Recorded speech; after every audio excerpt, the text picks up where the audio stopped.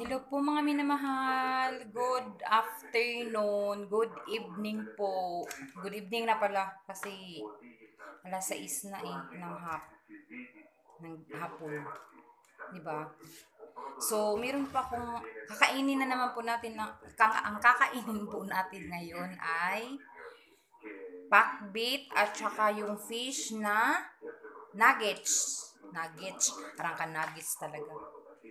Walang alaga ako kaya magkamay muna ako. Salamat Lord sa food. Amen. Nag-CR pa kayo. Natatawa ako sa ano, kinalalagyan ko eh. Pag nakita na naman niya kasi ako ng kamay. Pagagalitan na naman niya ako.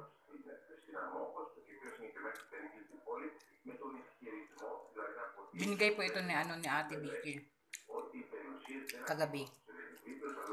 Ayun, salamat Ate Vicky sa iyong mabuting kalooban. Bigyan ka pa ni Lord ng maraming blessing.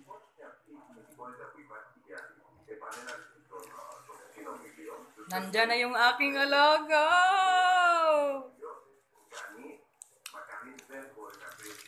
Si Estela!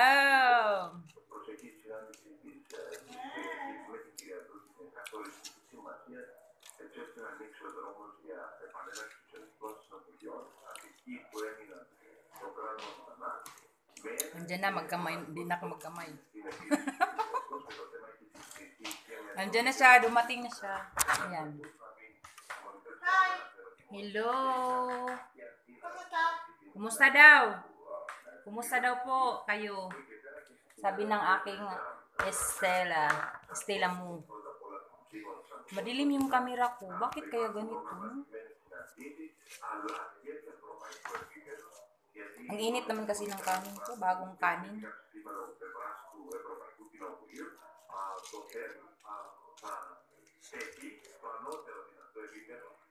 Nanood ng ano sa naglalaro.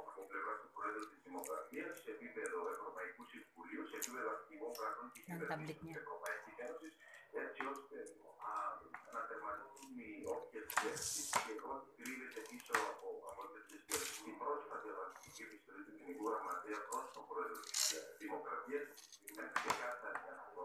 κυρίου Κουτέρε για το ότι ό,τι αφορά το θέμα της αμοιβό του, αυτό θα, θα πρέπει να είναι εντός του πλαισίου των σχετικών ψηφισμάτων, των σχετικών αναφορών στα συστήματα που αφορούν της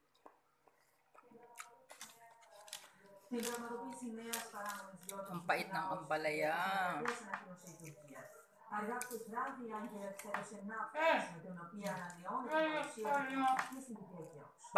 Σύμφωνα με την νέα.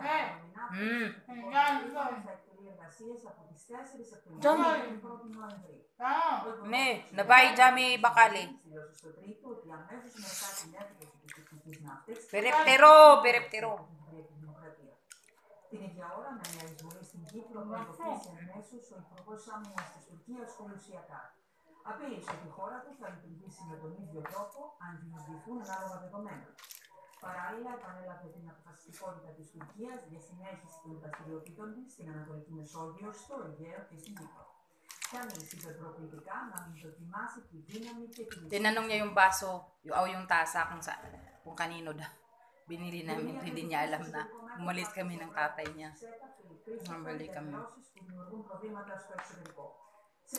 Hindi niya alam na may regalo siyang tasa. Sa Marte, ah, ano? Saan doon? Bidak, ah, sa ano, yung, A4 yung ano niya, birthday niya. Πιστεύω η ενότητα, η Kasi ενότητα tinago ko muna. μέσα στο εσωτερικό.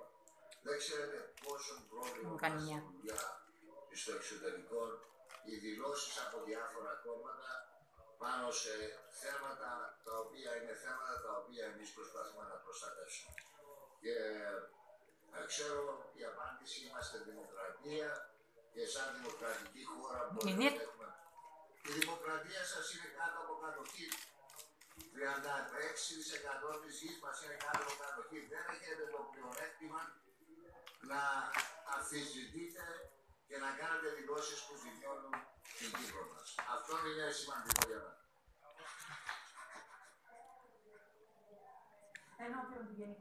Kumakain din siya.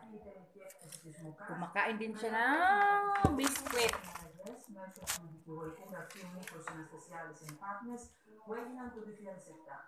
Η ΜΟΒΑ απορρίπτει δημόσιε δηλώσει, οι οποίε, όπω αναφέρει, θέτουν υπό αμφισβήτηση την ανεξαρτησία και αμεροληψία τη μονάδα καταπολέμηση αδικημάτων συγκάλυψη.